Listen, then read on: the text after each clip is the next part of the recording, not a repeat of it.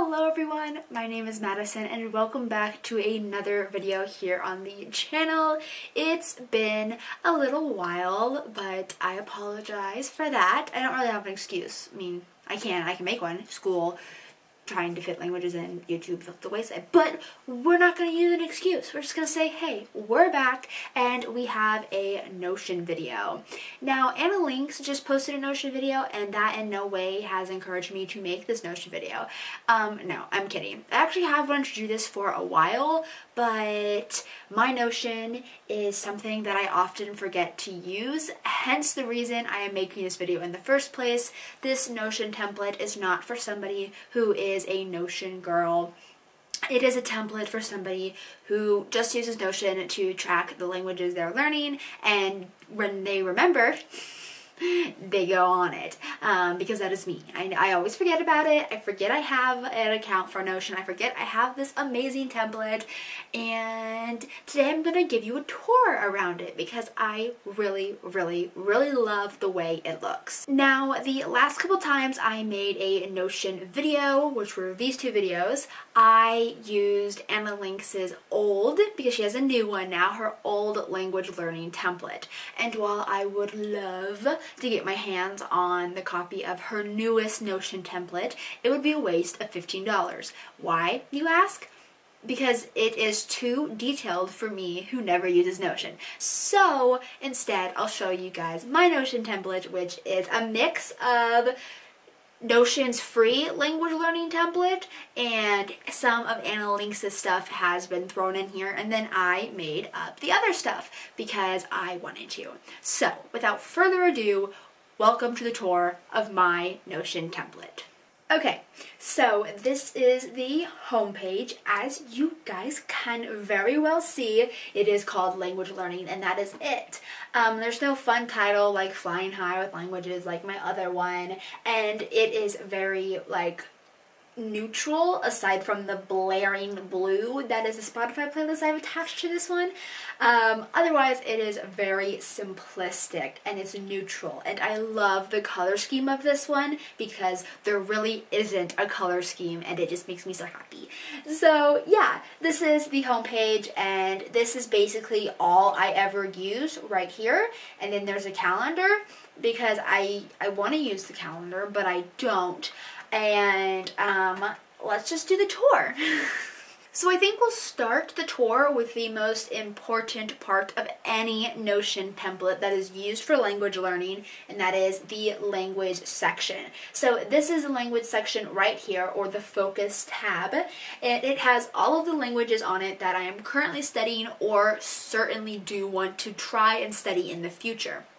I say try to study because I could start studying some of these languages and then decide that I actually don't like the act of learning them and poof, I won't be studying them anymore. But for right now, they're on here because these are kind of all of the languages that I would love to reach very high levels in for multiple reasons and some of them I don't even have or like a good reason for at this time. But yeah, let me just tell you guys what they are. And as you guys can see, they all have a quote attached to them, which is something I love. I think it is very like personal because I like I love reading and so my favorite like my I, if I read a book and I love it and it has a quote in it that I love I quote it all the time like Nikolai from uh, Siege and Storm right right up there. Um, he says if someone says impossible, they usually mean improbable.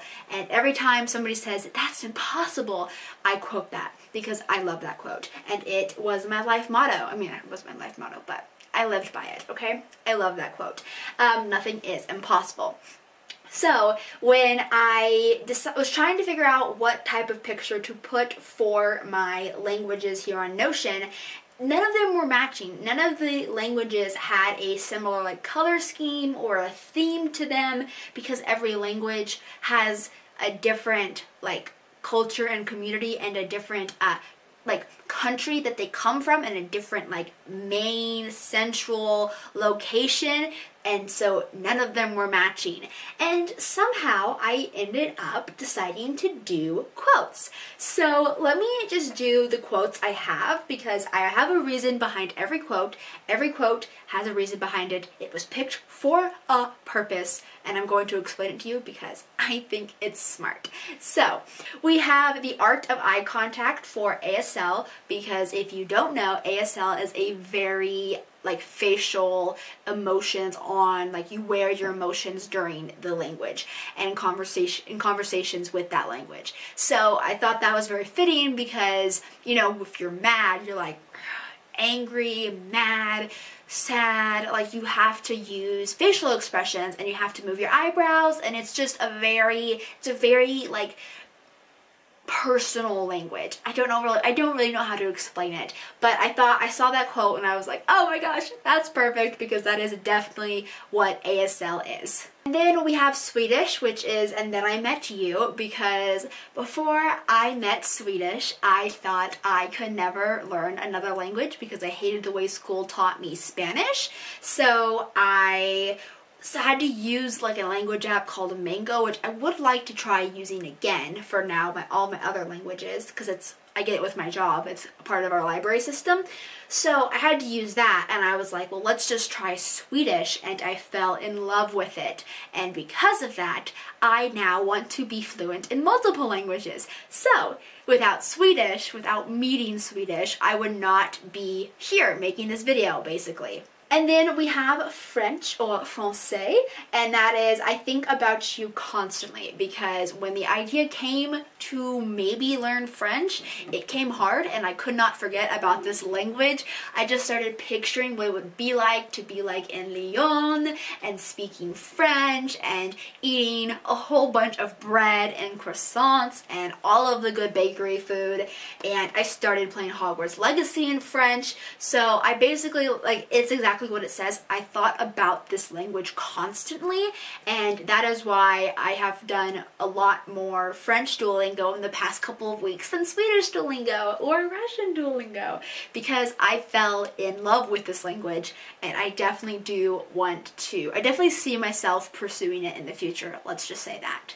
And then we have Russian, which I love the quote for this because it's so fitting. It's, I disappear sometimes, it's my thing. Because Russian is not like a priority language. I'm basically dabbling in it for the first two quarters of this year while I get ASL and Swedish up to very comfortable levels. I would love to watch Bonusfamiljen in Swedish. So that is the goal before quarter three, which is when Russian moves to the forefront and it reappears before it disappears again uh, later on. So I thought that quote was fitting because while I do want to be able to read Vita Nostra in its original language before I die, I might very well be on my deathbed before that happens. So we have Mandarin, which is what a plot twist you were because I have said constantly, in fact, I said in my video with Megan that a language I would never want to learn is Mandarin Chinese.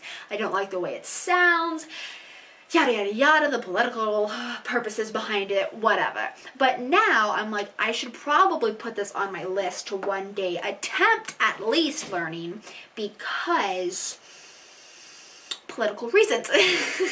you never know, you never know what's going to happen currently in this day and age. So knowing Mandarin could be very, very useful and that is why it's on this list. It is not a language I will be learning anytime soon, but I think I would like to one day attempt to learn it out of all of like that trifecta of Korean, Japanese, Mandarin, Chi or just Chinese, but mostly people go to Mandarin, not really Cantonese or any of the other thousands thousands of dialects.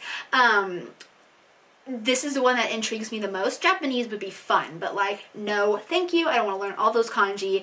Uh, I'd rather learn Mandarin. Um, so, I'm never saying no to Japanese. because I would love to go to to go to Japan, but Mandarin, Mandarin, Mandarin first, okay?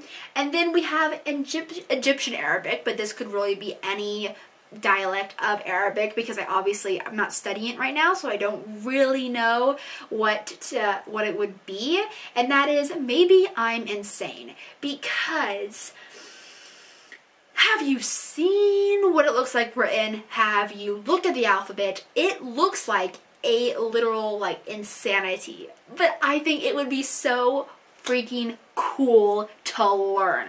Like I also think it would be such such a brag to be like I know Arabic. I can fluently read Arabic. Ah, I just love the idea of that. And I would also love to watch this show on Netflix. Eventually, I don't know what dialect it is, but I would like to um, maybe be able to watch it in its like in Arabic without subtitles one day, depending on what dialect it is. And obviously, Netflix could not exist by the time I get to learning Arabic to that high of a level. I don't know, but yeah, that's why it's on here. And also, Myuni is definitely like a very high like she she and I are gonna be like Arab buddies who study Arabic together. So I might start learning the alphabet sometime this year because uh, Myuni wants to learn Arabic and I want to learn Arabic because I think it'd be fun to brag. I also need to find a real reason to learn Arabic by the time I do get to this point because being able to brag that I speak Arabic and can read Arabic is not is not a good enough reason to learn the language. It will not keep me motivated. Okay, sorry. I had to change my battery and delete delete a lot of videos that I filmed that aren't going to be posted now because I Anywho, the final language on this list is Italian. And as you guys can see, I don't have many romance languages on here that I actually do officially like want to study, but Italian is one that I definitely think I would like to at least like reach B1, B2 in because I do have I do have a reason and it's a better reason than Arabic, okay? It is the quote is for you I would because I one of my dream dream trips is to go to Italy and do the like 300 mile bike ride across Tuscany that Kara and Nate did like last summer I think is when they did it. And to do that I would love to be able to speak a little bit of Italian because I want to be able to understand what people are saying around me at least a little bit. Be able to realize when they're talking about me um, and not just not having any clue. So that's why Italian's on here because for you is referring to the bike ride, I would, as in I would learn the language. Or for you, Italian, I would go do a 300 mile bike ride across Tuscany. um, if anybody wants to join me, like hit me up. It's not gonna happen for a long time, but I'll keep you in mind. You know what I mean? I'll keep you in mind. yeah, so those are all the languages that I do at this moment think I would love to learn to very high levels, like I previously said. Of course, this does not include any of the languages that I want to dabble in for whatever reasons. Georgian, I would love to learn the alphabet of because I think it's beautiful, and Kirsty Lamont from Days of Swedish and French for even bringing that language to my attention. Um, Indonesian, I think would be so fun to just see what it's about because I've heard that there's no like like verb endings. It's all just told like through the tense or like through the not the tense because that's a verb ending. What is the word? It's all told through just picked up on in conversation. I can't think of the word, but it's also very similar to how it is in ASL because there isn't like I worked, I'm working, it's just work. So that is something I think would be really cool to like do a comparison on and I don't know, there's there's, like so many. You know, like I said, Japanese I'm never going to say no to. I want to go to Japan and try their fish markets. So, as you guys can see, this is not all the languages I ever want to try dabbling in. Duolingo has so many that I think would just be fun to kind of get to, like to hear like Hindi maybe, because again, Myuni, you have encouraged that. And yeah, but this is all of them that at this moment I think I would like to become proficient in to say the to say the most.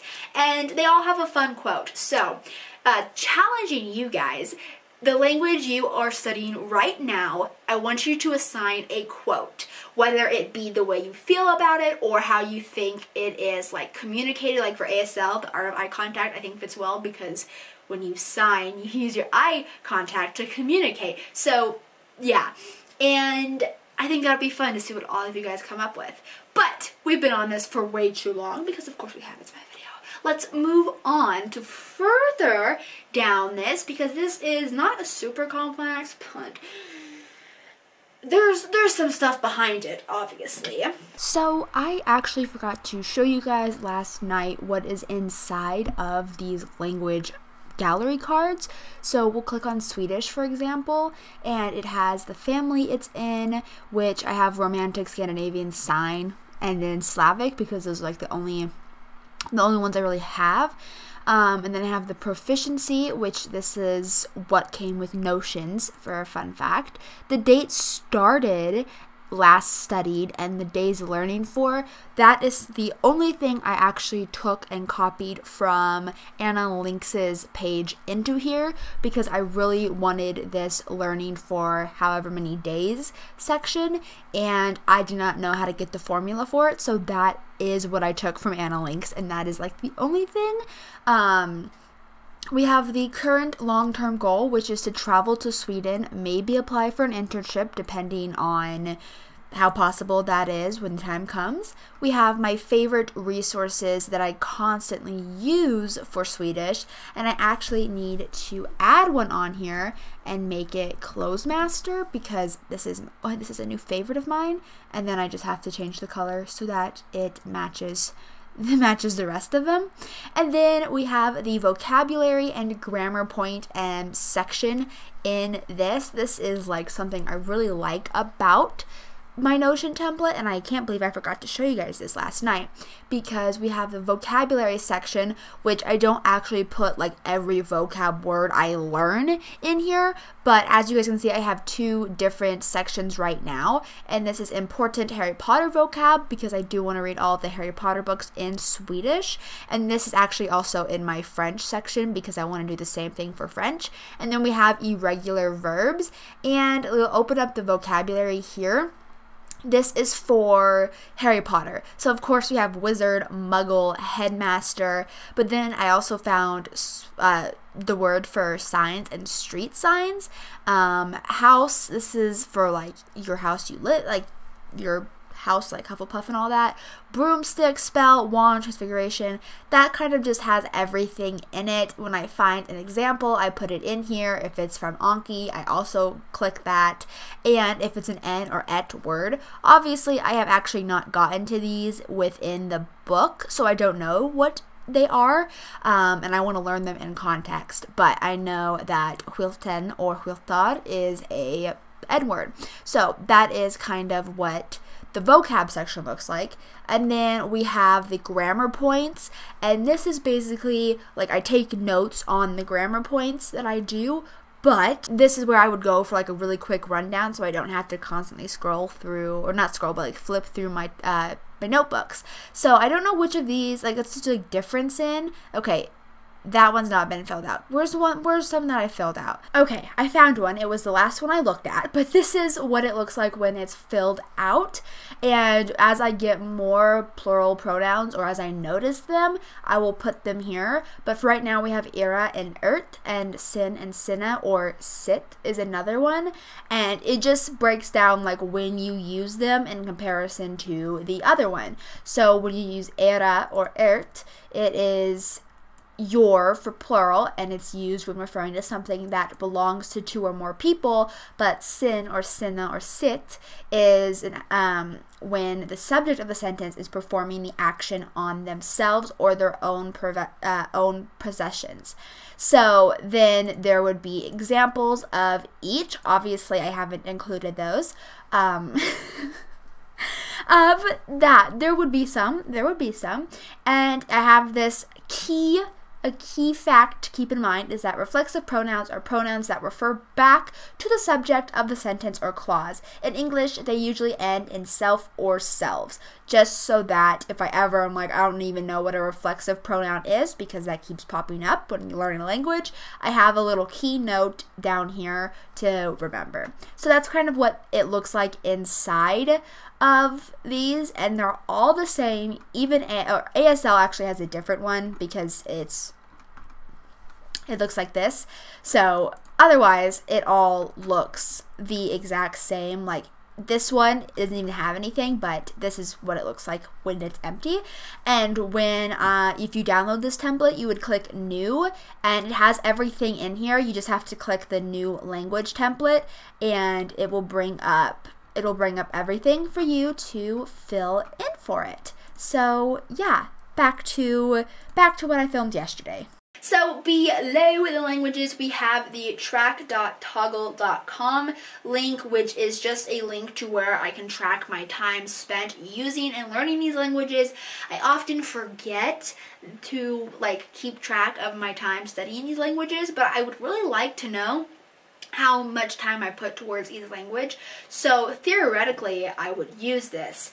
I haven't, but theoretically one day I will actually get to it. If you have a better app for learning languages, please tell me down below because I like I can't really find one for Android because I have an Android phone. I only find ones for like Apple and I ain't doing that. So that's if you have one better than Toggl, please tell me down below because right now this is only on my computer to keep track and I kind of forget about it.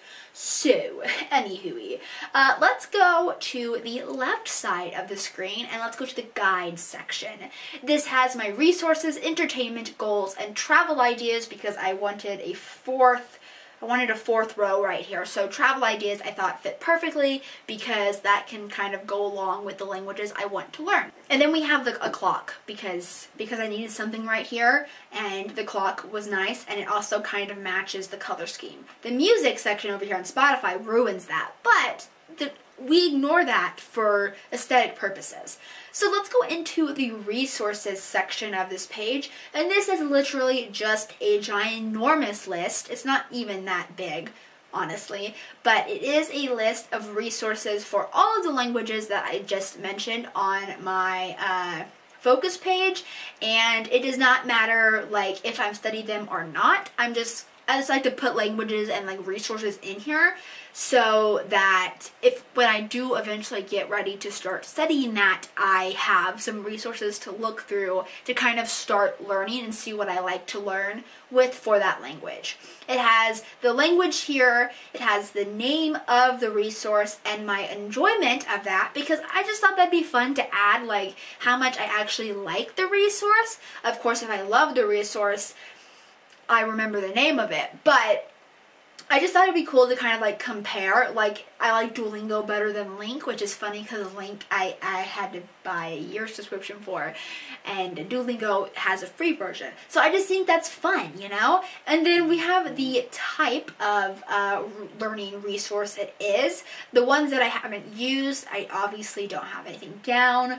Or like Clozemaster is when I started learning and using quite frequently um, because I have lifetime subscription to it now because they did they did a March Madness sale. I'm sorry if you guys missed it, but maybe they'll do it again next year. It was actually a really good sale, and it has all of that I all of what I can do within that resource there. And then of course there is the link. This is very much so cut and dry. It's a resources page. You can sort it by language if you want.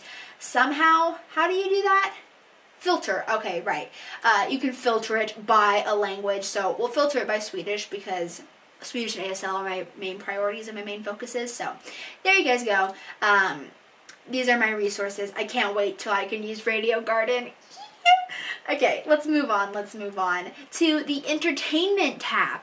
I have put I had to decide like how I wanted to lay this out, but I actually quite like it.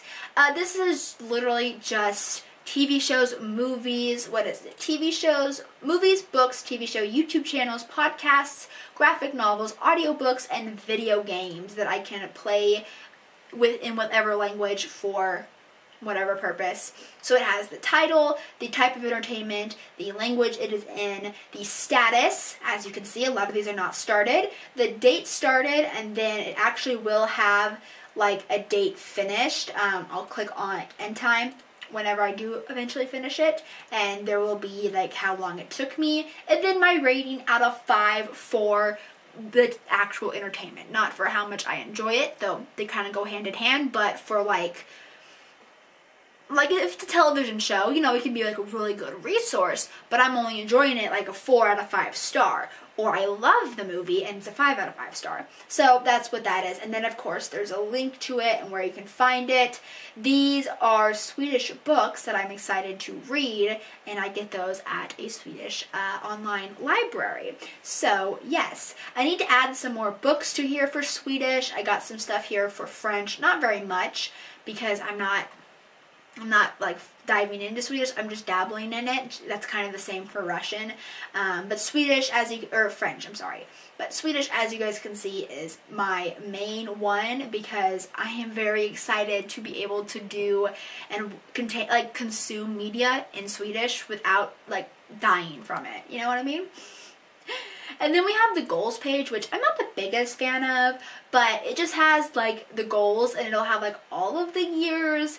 And this is kind of like the goals page for here. It's got quarter two, quarter four, quarter three. I said those in the wrong order. Quarter one, yeah, we don't talk about that because I was just kind of seeing how it laid out and obviously this is not a goal I'm going to have and I didn't start working on this until uh, Feb like the end of February I started putting together this 2023 goals page. So the quarter one goals aren't that good but I do have some for two for quarter three and quarter four I haven't really started working on the goals yet because we're nowhere near that but it exists. I have my ideas down for that and the language it will be focused on. So yeah, this is the goals page. Um, but we'll, you know, that's not really, we're not talking about that today because we're not talking about goals.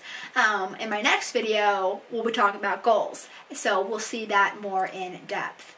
And then we have travel ideas, which this is a rough draft because basically I just wanted to put like this hit list down for the ones that I wanted to do.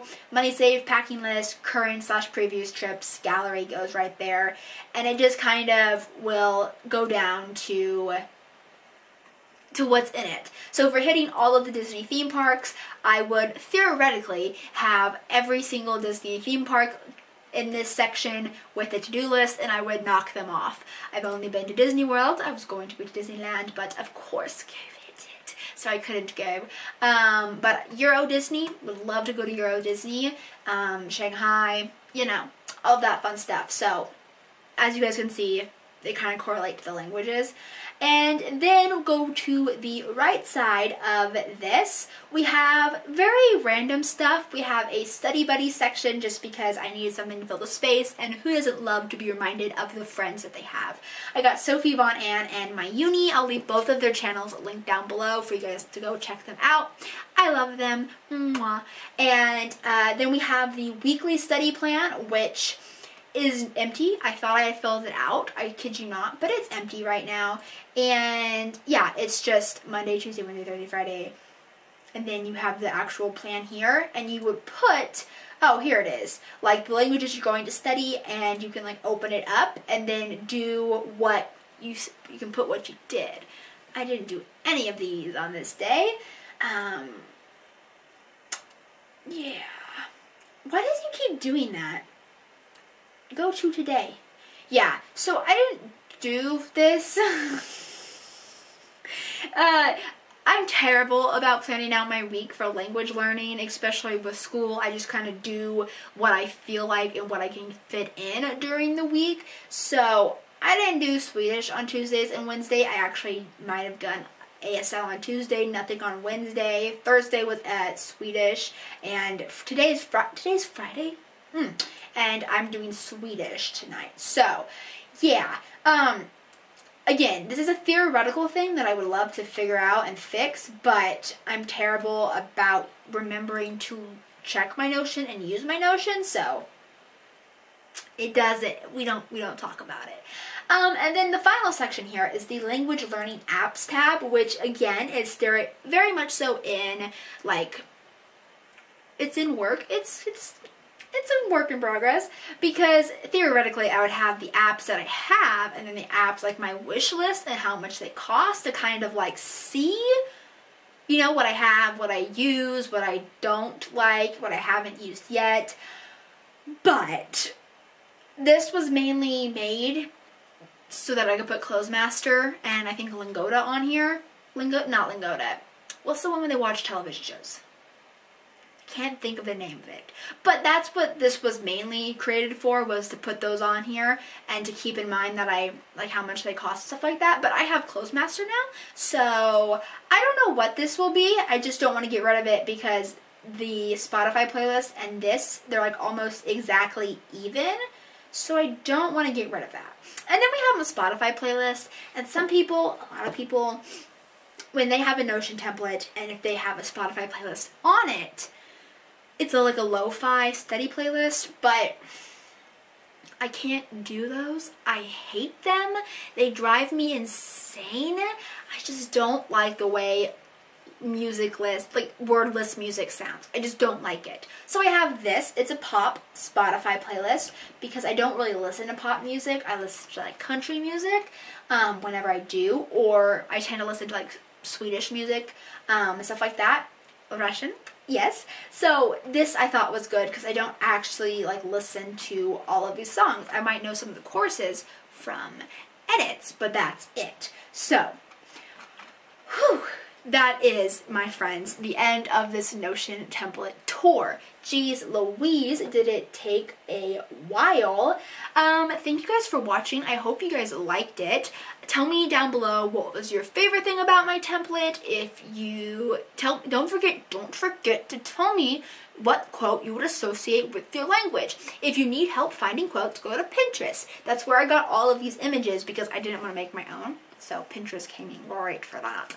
And yeah, tell me, tell me, are you a Notion person or are you not a Notion person? Because as much as I would love to be a Notion and Anki person, I am not really one of those. Um, especially the Notion, I just, I keep forgetting it exists even though it's on like my bookmark tab when I open up the website, like the web Google page, DuckDuckGo is what it's called, that's what I use, and I just, I would love to be a Notion person. Men jag är inte. I'm not, I'm, not a Notion person. And it's sad, but that's the honest truth. So, thank you so much for coming. If you want to tell me, just, I don't know, just talk to me in the comment section. I love to read comments. And yeah, sorry this video was chaotic, but hopefully you enjoyed it. Hopefully I don't come to regret this like I do my goals video for this year because so many people I watch on YouTube have watched it and they've commented and I'm like, no, please, I can't. Um, so hopefully I don't come to regret that. So anyway, thank you so much for watching. I hope you guys liked this video. I love you all so, so much and I'll see you guys all in the next video. Hej då, au revoir, salut, goodbye, adios, um, and don't forget I'm still a freaking bulldozer. Goodbye.